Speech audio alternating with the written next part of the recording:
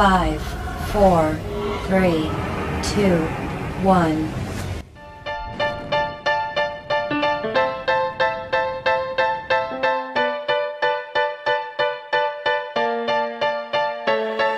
When someone says play, what do you think of? Uh, I think about playing board games, uh, playing video games. I think play is an activity that you can indulge in without any like repercussions or rewards. When I think of the word play, I think of a dramatic performance on a stage in front of an audience. It takes imagination. Like having a fun time.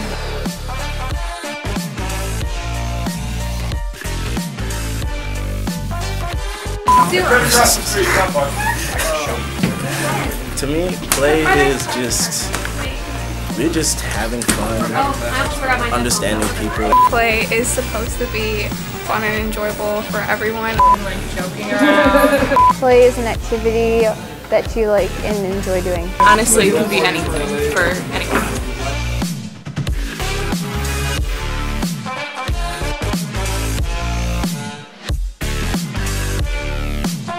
I think play is essential for life in everything that we do. Uh, it makes us uh, at- better at working together, better at uh, thinking creatively, uh, spontaneously, uh, and a, uh, an innovative fashion. Opens us up to be more empathetic, uh, better, smarter, more able people. Um, so whatever it is you do as play, um, continue to do so and find it in every aspect of your life.